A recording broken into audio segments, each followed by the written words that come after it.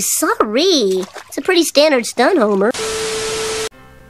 Hello everybody, welcome back to another video. So in today's video, we are going to be seeing if I can beat Cuphead with the Cursed Relic on Expert Mode with the DLC. I need help. The rules for this challenge are extremely simple. The only charm I'm allowed to use for the entire game is the Cursed Relic. If you don't know, the Cursed Relic limits your HP to 1, and it completely randomizes your shot, but it does include a bunch of the charms, such as the Heart Ring, the Smoke Dash, the Coffee Charm, the Whetstone. All of those are included in this charm, but like I said, every single time you stop shooting, it will switch your shot, and you always start a battle with 1 HP. And if you don't know already, pretty much every single time you beat a boss, the Cursed Relic upgrades a bit, and once you beat around 5 bosses, it upgrades to the Divine Relic, which means I can't use it anymore. So I had to make 5 separate save files and go through almost the entire game every single time just to get this challenge done. So if you like the video, or if you just like the amount of effort that I put into them, consider liking the video and maybe even subscribing to the channel. Only 5% of people who watch my videos are actually subscribed to the channel, and that's kind of sad.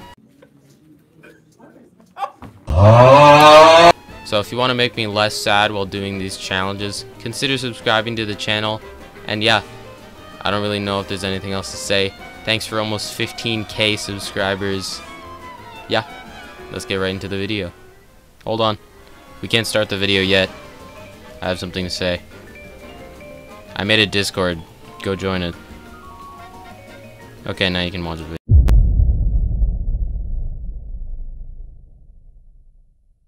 The first boss battle of this challenge is going to be the Root Pack.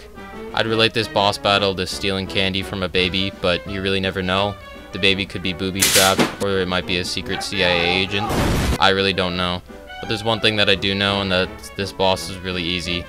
I don't really have anything else to say. It's weird getting used to the Cursed Relic, because if I take stupid damage in the beginning phases, then I die. And that's not good. But I spent most of the fight switching my weapons to get a good one, and then I'd lose it because I dash, and then I'd do that again. But we did beat it. If you're wondering how I'm beating these bosses on Expert for the first time, it's because I'm using a glitch. I really didn't want to have to go back and beat an entire game just to fight a couple bosses with the Cursed Relic. So, I used a glitch. Basically, if you go into a save file that already has Expert mode, beat a boss on Expert, and then come back to this save file, you'll have the difficulty unlocked. Now that I'm done absolutely game theorizing you, and don't overdo it, watch your calories. Don't you tell me how many calories I need, bitch! We're going on to the next boss, which is Goopy Le Grande. That's right, I had you on the edge of your seat, the tip of your toes. You thought it was gonna be the frogs, but it's not. It's Goop. You're welcome. It's a lot of the same from the first boss fight. I basically just ran around until I got good shots, because if you don't know, it's completely RNG based, so I could get the same two shots in a row for five times in a row. It changes every 0.45 seconds, I think. I'm not 100% sure, you can wiki that if you want. But like I said before, it's a lot of just waiting around because it's Goopy Le Grande. If I ever die to Goopy Le Grande, you have free rein to cancel me on Twitter and, I don't know, steal my kneecaps. I will stomp your kneecaps backwards! Because the boss is not that hard. It's a lot of waiting, but we finished it. Just go to the next one. One way to tell that I have the Cursed Relic enabled is if I constantly smell like Thanos' colon and have a purple stench around me, then that means I have the Cursed Relic equipped, or if I have any purple effect around me for that matter, then that means I am not cheating. I don't think I cheated, but if I did, you'll know.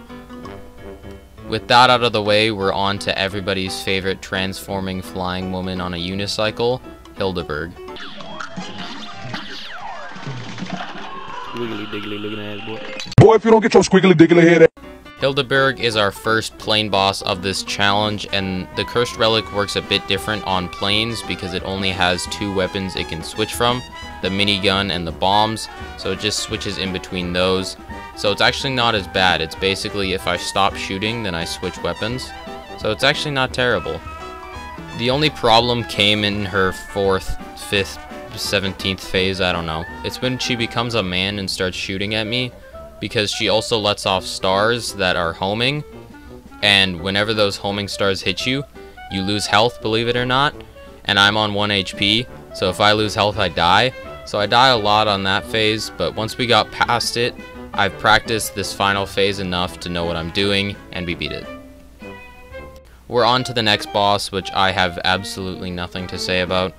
I have nothing to say about anybody who may or may not eat plants for a living. I have nothing to say about anything of the sort. Vegan. Why the fuck aren't you vegan yet? That's right, one of the final bosses of this isle, we're versing Plant Boy. My strategy for this fight was get the crack shot and then win, because if you don't know, the crack shot is absolutely broken, especially in this boss fight, because any plants he summons, I can immediately home onto and kill. So, basically, it's completely broken, and that's it. I literally just waited till I got the crack shot, and won. Wiggly diggly.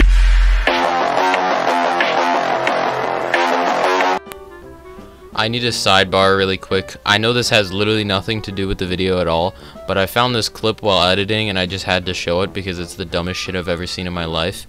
Right after the clip, we'll go back to the regular video, but I just needed to show this. What do, what what don't women understand about men? Cheeseburgers. Uh, okay.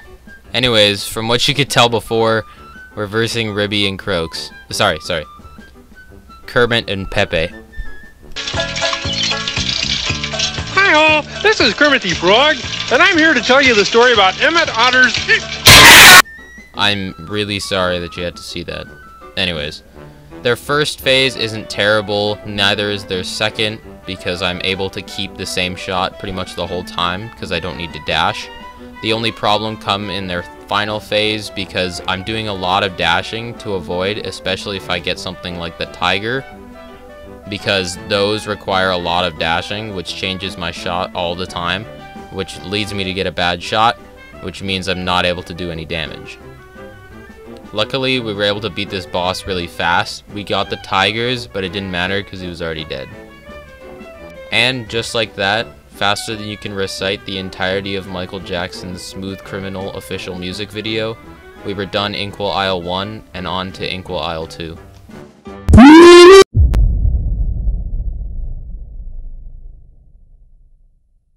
Our first boss of Inkwell Isle 2 is going to be Candy Woman. The three mini bosses she sent out were the Jawbreaker, EDP, and the Candy Corn. For all three of these bosses, I decided to go with long-range weapons such as the Roundabout or the Converge Shot, but on some occasions I would take the Crack Shot.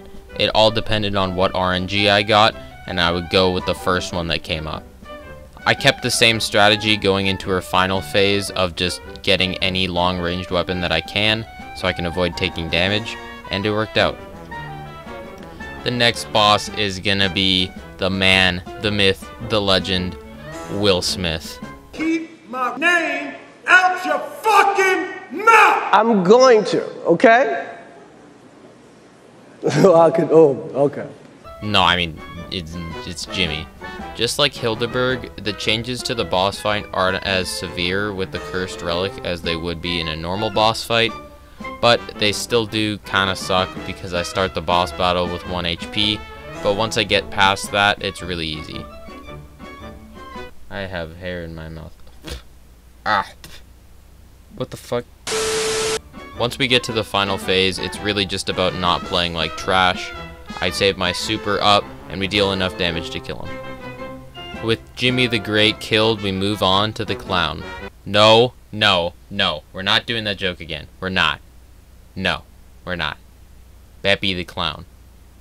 We are not doing that joke. I, it's not happening again.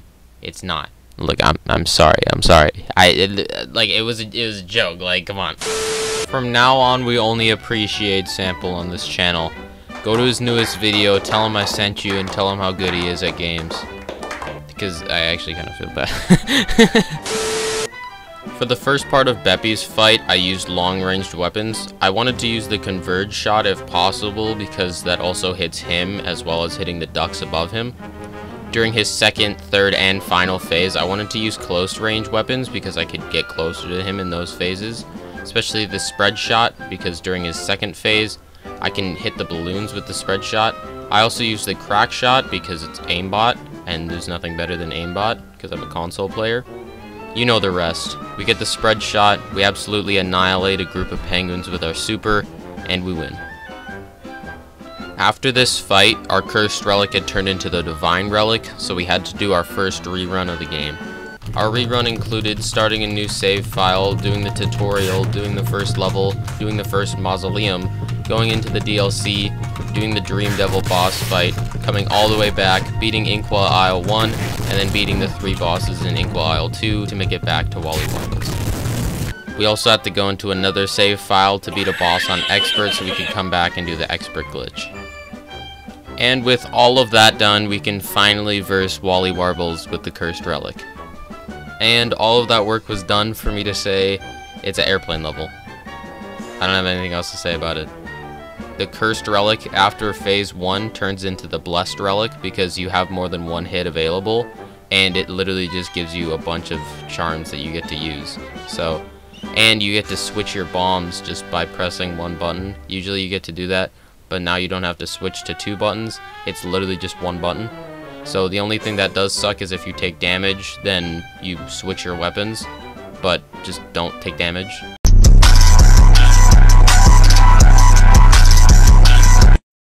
Once I came to that recollection, we were able to beat this boss.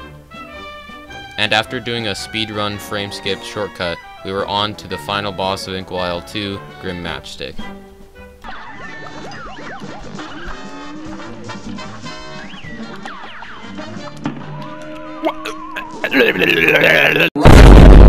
The plan for this boss fight was pretty simple. I would change my shot till I got the lobber, and once I got the lobber, I literally would not do anything to change it.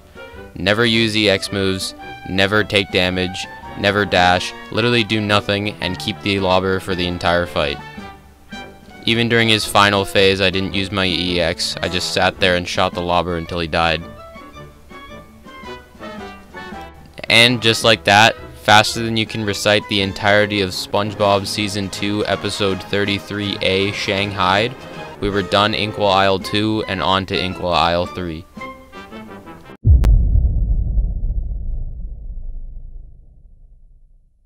Our first fight of Inkwell Isle 3 is going to be Rumor Honeybottoms.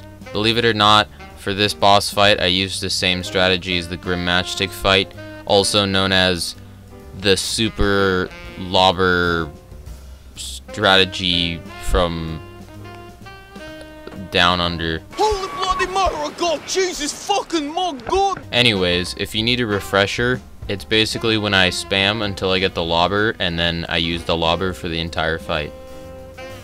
That's it. During her second phase, I accidentally dashed and lost the lobber, so I ended up just going with completely random shots until she entered her third phase, and then I got the lobber again and stuck with it for the rest of the fight. After that, we headed over to the pier to fight Captain Brineybeard. And we're never gonna For this fight, I didn't have any shots that I wanted, so I just went with anything that dealt damage. I wanted the crack shot for the third and final phase because I knew I could home onto him and worry about dodging instead of hitting him. But other than that, I just went with any weapon that I actually got.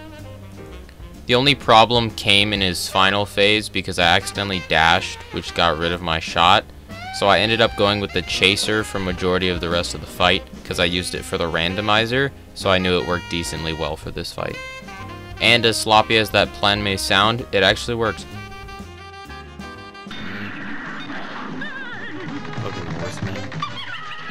What's this guy's name? Quandale Pringle? Hey, Quandale Dingle here. I just escaped prison. Hmm. I am staying at my friend Juandale Pringle's house. Anyways, we're versing Cala Maria. She's probably one of the hardest plane bosses of this challenge, mainly because I start off with 1 HP, and if I get bad pairing with some minions that she sent out, then I am most likely going to take damage, which means I die, which means I have to restart the boss battle.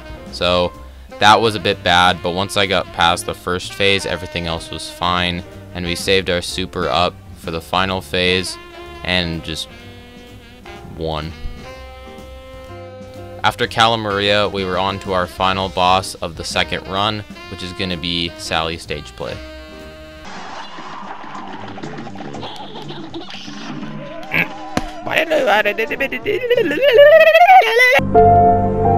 What? Sally Stageplay. For this fight, I didn't have any... Sally Stageplay. For this fight, I didn't really have anything that I wanted in specific. Mainly, I just wanted to use the crack shot because it's the one I use most often, so I am used to it. I ended up getting my super really early and I used it in her second phase because I think that's her most difficult phase. During her third phase, I stuck underneath her and used the air up shot because it's basically the spread shot and I couldn't get the spread shot, so it was the second best thing. For her final phase, it was actually pretty difficult because I ended up using my super at the beginning, but every single time I tried to make it over the umbrella, I would have to dash just because I like doing that because I feel like I'm not going to get hit then. But whenever I used my dash, I would change my shot. So after a bit of changing shots, we did finish it. It's the Divine Relic now. Fuck. Like I said before the Sally fight, this will be our third rerun because we have to beat the game all over again to come back to Dr. Kahl to do it with the Cursed Relic. oh And we're on to Dr. Kahl. Dr. Kahl's another plane boss, so he's not as hard as the other ones. Basically, I use the normal strategy of going after the laser first, then parrying to get EX moves to destroy the two middle parts, using my super during his second phase, and then just hoping that I don't get hit during his final phase. I used the minigun so much for the cup lock, and I practiced this fight a lot, so I practically know the in and outs of this boss fight, so it wasn't terrible, and yeah, after a bit of luck, we finished it. Oh my god, bro. we had to do it, though. We had to. You already know we have to do it, though. After Dr. Kahl, we're gonna go down and verse. Wiener, Wiener, Wiener, Wiener. Wiener, Wiener, Wiener, Wiener. Wiener, Wiener. I don't have much to say about his first phase, I mainly just used long-ranged weapons, obviously, so I didn't have to stay close to him. The only problem came in his second phase, because most of the time I wouldn't have enough parries to gain another HP, and if you don't know, pretty much every single thing in that second phase damages you. The bottle caps on the side that aren't moving, they damage you. Him damages you. Flamethrower damages you. The bottle caps that are moving damages you. So you really just have to hope that you don't get hit there or parry enough to get another HP. Once you're done with that phase, the third phase is actually pretty easy, especially if you have Super Art Was that the bite of if you don't know, 87? you Kill one of the farthest ghosts, and then just jump up and use the super, and it just kills everything in its path. It's actually really broken. But yeah, we used the super, we dealt some damage with the spread shot, and we won. Will we be able to fight these last three? That's the real question. That's the real deal. That's the real meal. That's the the the dill pickle meal. What? Bro, what are you talking about, man? I think that's actually the Travis Scott meal. But I might be wrong. Anyways, this is a pretty standard cursed relic fight. It's not actually that difficult. The train's first phase is pretty annoying, but everything after that is perfectly fine. Because I don't actually dash that much, especially during this, because I want to be able to stay as close to the platform as possible. So if I need to parry, I can. So once we got to the second phase, we used our super. Then we just used the crack shot for the third phase. And for the final phase, we wanted to use our super again and use any homing weapons because they're way easier to hit the train with and plan worked out.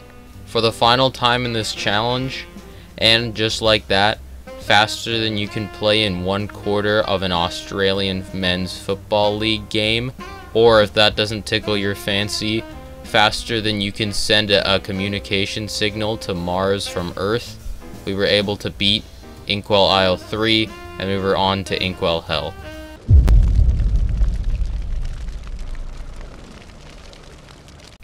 Our first fight of Inkwell Hell is obviously going to be King Dice. For these fights, I really didn't care which ones I got, so I went after anyone that had the extra hearts. Obviously, because I, since I start with one, I wanted as many hit points as I could get. So, since I could change my shot whenever I wanted to, it really didn't matter which bosses I got. So I ended up going with Mr. Wheezy, Phear Lap, and Mangosteen, since they were the three with the hearts on them. For Mr. Wheezy's boss fight, my shot would constantly change because I kept dashing to make it over the gap, but I just went with any long-ranged weapon I could get, or anything I could actually do damage with. Obviously, I can't do much damage with the spread shot, but other than that, I just went with any weapon that could actually deal damage to him. For Phear Lap, I used my super at the beginning of the fight since I had it built up, and I wanted to do as much damage as possible because I'm not really used to this boss fight. And I mainly just kept my distance with the minigun and rinse and repeat. For Mangosteen, you already know, he's the easiest boss in the entirety of this game. So I just sat underneath him with the air up shot and just spammed that till I won. Now we were on to the actual King Dice boss fight. I used my super as soon as I could so I could build up other EX moves. And since I was dashing a lot to make it across the cards, my shot would change all the time, but I was always in King Dice's hitbox. And as well, since I had the Cursed Relic equipped, I also technically have the Heart Ring, so all the parries were also giving me extra HP. So this boss fight actually wasn't terrible, and with enough spamming, we finished it. After King Dice, we were on to the final boss of the main game, the Devil. I parry, bro! You heard me go... For the first part of this boss fight, I wanted to parry as much as possible so I could get my health back. As well as, the shots that I used didn't really matter because I was always underneath him, so I could hit him with pretty much any shot. And we finished the first phase pretty quickly.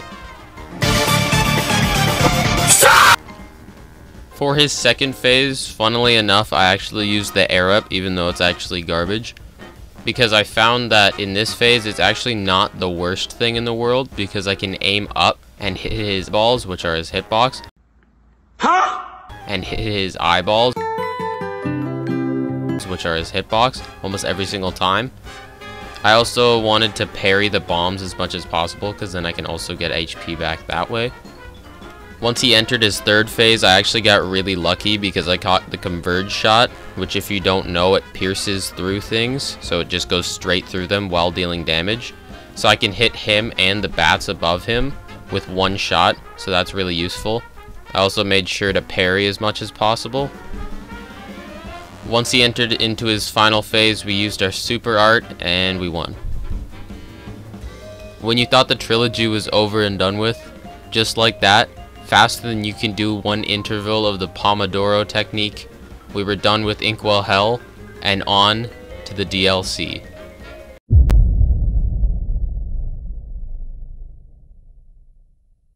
Funnily enough, this is actually my second time playing the DLC. My second time. I beat it the first time for when it first came out, and never played it again. So this is gonna be fun. Our first boss of the DLC is going to be the Howling Aces. I know it's not actually the first boss, but since I had to go over here to do the Dream Devil boss fight to get the Cursed Relic, I was right next to it, so I thought I might as well do it. And since I didn't mention this earlier, after the Devil boss fight, I did have to do another rerun because it turned into the Divine Relic after that boss fight. So this is our fourth rerun. I'm not sure, but it doesn't matter at this point. The Howling Aces boss fight is actually pretty easy, especially if you follow the one rule. Crack shot. That's the one rule. At the beginning of the match, I would spam until I got the crack shot, and then I would literally use it for the rest of the fight. The first phase actually isn't difficult, especially with the crack shot. All I did was just dodge attacks and use the crack shot till he died. The second phase is pretty much the exact same thing. I would move in a circle and keep jumping over the letters till all four of them were done.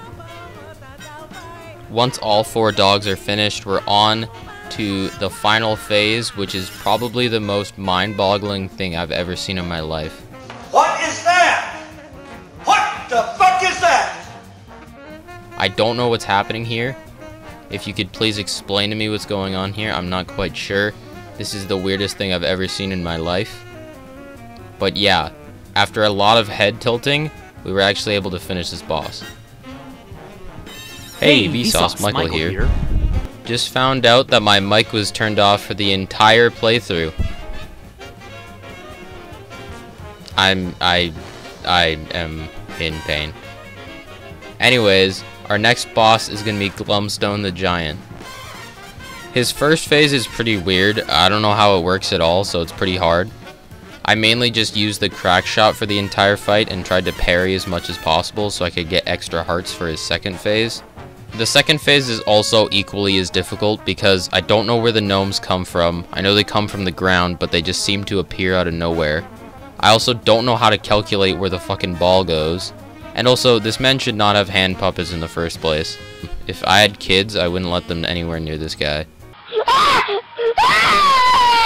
Once we enter his mouth and conveniently enter into his third phase, we're going to want to use either the crack shot or the chaser just because I don't have to worry about anything else. Luckily, I also had my super saved up. I don't know how because I also used it in the second phase, but somehow I got my super back. I ended up using the air up to finish this fight, but we still did finish it. The next boss we're versing is Esther. The molester. Hey yo, what the fuck? This boss is probably one of the hardest bosses of the challenge, mainly just because of her first phase. Her first phase is probably the worst first phase for this challenge because there's so much stuff on screen. And since I only have 1 HP, I can't get like the second parry that I need for the HP till her second phase. So I just have to like go goat mode for her first phase and hope that I don't get hit. During her second phase, it's pretty easy if you just go back and forth getting parries. I never ended up getting the parry in the second phase, so I had to parry one of the stakes during her third phase. The third phase is actually pretty difficult, especially if you don't have good special awareness, because I have to be looking at all the things on screen, mainly just the weird-ass sausage links that come out of the thing, because I need to know which way they're aiming, so I know how to dodge them. But we gotta go back. Did you see that dodge? Oh my god, that was fucking amazing. Anyways, her fourth phase actually isn't terrible. It's pretty easy because I can get my HP back by parrying the peppers, as well as using my super art to do a lot of damage. And yeah, after we got past that first phase, we finished it. Our next boss is probably my favorite boss of the DLC, and where this background music comes from, the Moonshine Mob. The first phase of this boss fight's pretty oh, annoying, mainly just because there's a lot of stuff on screen, as well as the bombs that are all around the screen because you need to dash through them. I know you don't technically need to, but sometimes you can take stupid damage if you don't dash. And if I dash, I lose my weapon, so I basically just stuck with the crack shot for this entire phase and dodged around so I didn't take any damage. During the second phase, I just used the crack shot as much as possible so I could dodge the sound waves and I didn't have to worry about aiming. I did end up having to dodge once, but after that I got the chaser, so we were still homing on, so we still got it done. We actually got really lucky during the third phase because we got the chaser shot, and if you don't know the chaser shot homes on to any of the bug balls he shoots out, so that was actually really lucky.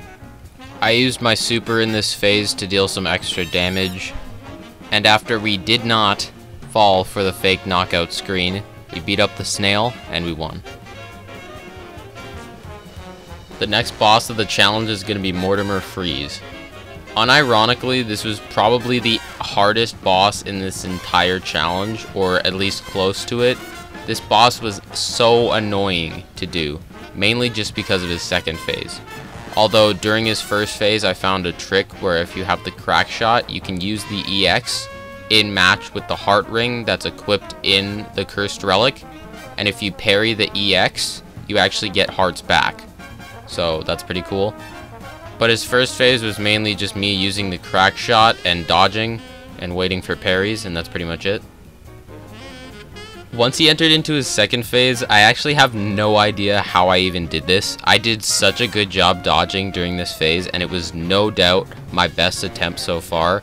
So I actually had no idea how I did this. I got the coffee charm and saved up my super for the final phase, but during this phase, I ended up getting one more HP based off parrying. And yeah, other than just lucky dodges, I don't know how I did this. Once he entered into his final phase, I had like zero practice, so I just shot as many bullets at him as I could. I somehow ended up getting two supers during this one phase, which was absolutely nuts, and we ended up killing him with the second super. After that, we head through the secret hatch and into the dungeon to fight the final boss of this challenge, Chef Saltbaker. What I said about the second phase for Mortimer Freeze was a lie. This is actually the hardest phase for this challenge. His first phase is legit just a bullet hell, and I'm only allowed one hit or else I die. So I needed to get a bunch of parries and just hope that I didn't take damage. Our saving grace for this phase was the chaser shot. The chaser shot, paired with the coffee charm which is in the cursed relic, is one of the best things ever, and I'm not even joking. It's so accurate with its homing, it's way better than the crack shot for this fight, in my opinion, or at least for this phase, because since you have the coffee charm, you're building up your super faster than you would, and that's really the only downside to using the chaser. Once he enters his second phase, we completely forget what we said about the chaser because now it's garbage. Now we only use the crack shot because the crack shot does more damage so we want to do as much damage to these things as possible because again it's another bullet hell and I don't want to take any damage. I made sure to parry to get some HP back but mainly just use the crack shot. Now we enter what I would say is the worst phase of any boss in Cuphead. The hitboxes are absolutely horrendous but we also forget what we said about the crack shot because now it's garbage we only use the chaser in this household once he enters into his final phase, I spam to get the chaser, and I'll just let you watch.